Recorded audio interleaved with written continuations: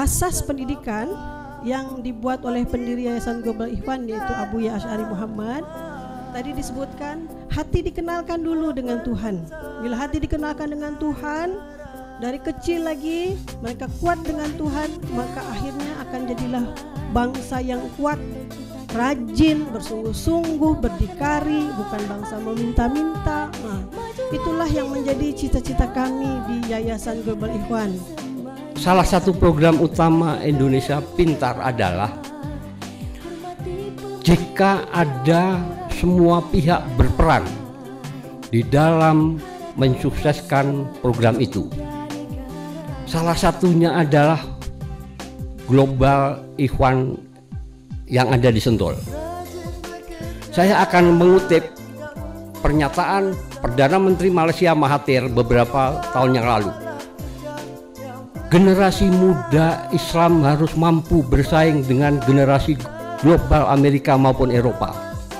Sinergi antara pernyataan Pak Mahathir dengan pembentukan Global Ikhwan ini dalam rangka mencerdaskan umat Islam mampu bersaing secara global.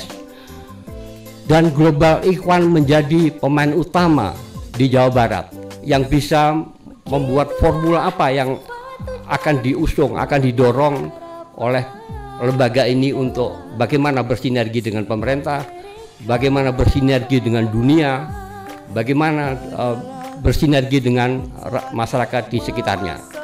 Harapannya lembaga ini akan bermanfaat buat semua pihak. Yang tidak kalah penting adalah mimpinya Pak Mahathir Muhammad, mimpinya Pak Jokowi kita wujudkan dalam lembaga yang ada di Sentul ini. Dengan hadirnya Global Ikhwan di sini, saya secara kebetulan Global Ikhwan uh, Bu Tuti, uh, ayah, saya sudah pergi ke Haramen. Waktu saya umroh, saya dilayani sama Global Ikhwan. Global Ikhwan di mana-mana dia melakukan terbaik, membawa nama Indonesia ke negeri orang juga.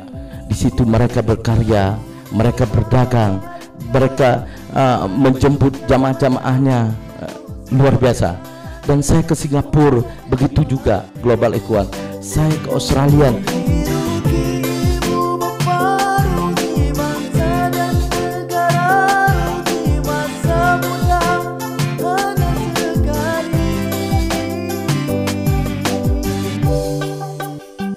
Jangan siakan selepas itu kita akan tuh